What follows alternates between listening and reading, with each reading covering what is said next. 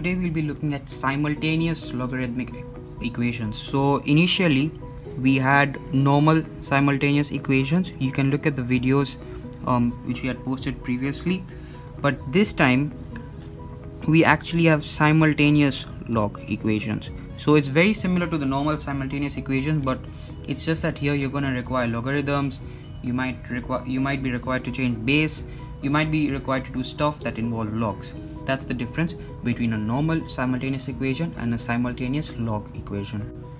So I have this equation. Log x base 3 plus 4 log y base 9 is equal to 2 and 2 log x base 4 plus log y base 2 is equal to 1 so let me go ahead and number these equations. Equation 1 and equation 2 whenever you're solving a logarithmic equation you need to make sure that you have it in its simplest form possible so let's start with equation 1 and let's try to make it in a very simple form so it becomes very easy for us to solve the equations.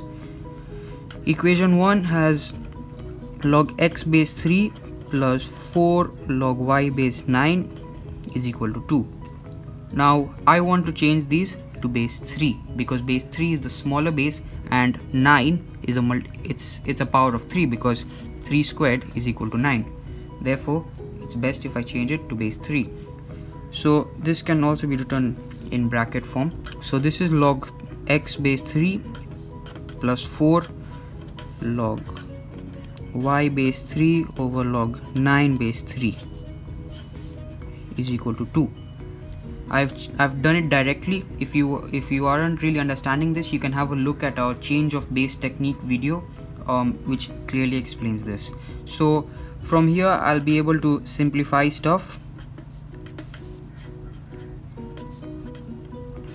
Because 3 squared is equal to 9 this is the same as log 3 squared base 3 and because of the rules of logs I'm able to bring the 2 down.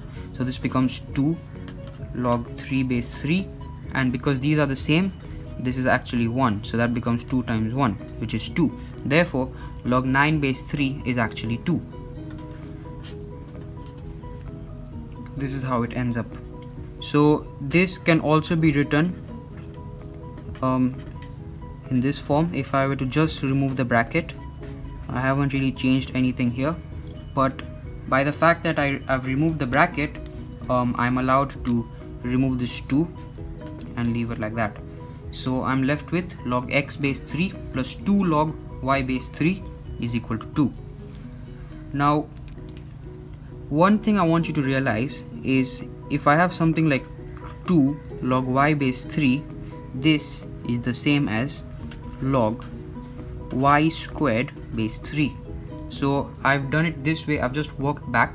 So because I have it log y squared base 3 if I have if I move the the power the 2 on the other side I get something like this. So they're the same thing. So this is this is how it can be written. So I will write it in the normal form in the way how it's actually supposed to be. So this is log x base 3 plus log y squared base 3 is equal to 2 notice that the bases are the same now they're all three so it's easy for me to now use the laws of logarithms which I discussed in the previous videos. So this is the same as log 3 into xy squared is equal to 2 this is a law which we had discussed in the previous video so if you're a bit confused you can have a look at that. So log xy squared base 3 is equal to 2 from here um, I want to remove the log because I want to have it the simplest form possible so I can have the 3 on the other side. So therefore xy squared is equal to 3 squared which is equal to 9 this is one part of the equation. So basically I've transformed this equation equation 1 into something like this. Very simple and it's uh, very it's very easy to do. Now I'm working with the second equation. The second equation is 2 log x base 4 plus log y base 2 is equal to 1 I've just written it um, directly from the question. Now I want to make this also um, into a very simple equation. Then I'll be able to solve it very easily. So here um, I want first I'll put the brackets and then I want this to be base 2 because 2 squared is equal to 4 it's best if you go for the smallest base possible. So always have the smallest base so let's start changing this. So this is going to be 2 log x base 2 divided by log 4 base 2 again I've used the change of base technique.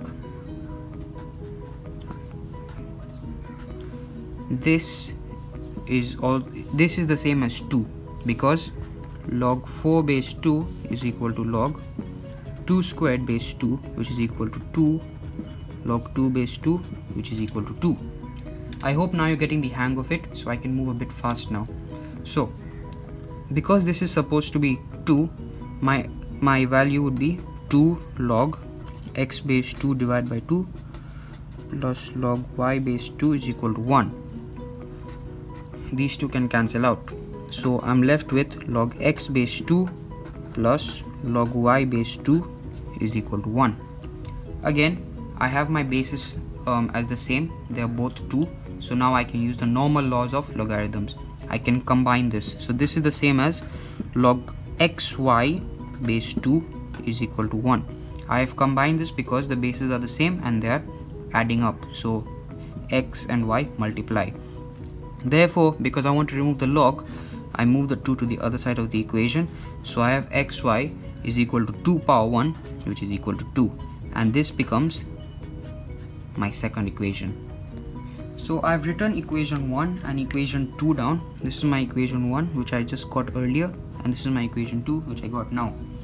Now I have to find the values of x and y here we don't have any um, x plus y or x minus y we don't have any um, operation to do so basically there's no elimination method that can be used here what we could do is we could use the substitution method so in this case we could have xy squared is equal to 9 therefore x is equal to 9 over y squared if we have x is equal to 9 over y squared we can substitute it into xy is equal to 2 and then we can get our value of y then we can substitute to get the value of x. I want to show you one more method in which you can use um, to solve equations of this sort. So there's a multiplication here. So these are all product equations because there's xy squared and xy. One way on which you can do is you could do equation 1 divided by equation 2. This is the same as xy squared is equal to 9 divided by xy is equal to 2. If I divide them, I notice that these two things go, the x goes, y goes with y squared, so I'm left with y, and then I have 9 over 2. So this gives me as y is equal to 9 over 2. So this is another method on how you can solve. I'm dividing these equations and this only applies to equations of this sort. So because I've divided them I was able to uh, I was able to obtain y only by dividing them so I can get y as 9 over 2 now I can substitute y into any of these equations to get my value of x so let's use equation 2 xy is equal to 2 and because y is 9 over 2 x into 9 over 2 is equal to 2 therefore x is equal to 2 divided by 9 over 2 which is equal to 4 over 9. So for this equation we are able to get the values of x and y. The values of x is equal to 4 over 9 and the value of y is equal to 9 over 2. Therefore for this equation our value of x is equal to 4 over 9 and our value of y is equal to 9 over 2 and we have solved the equation.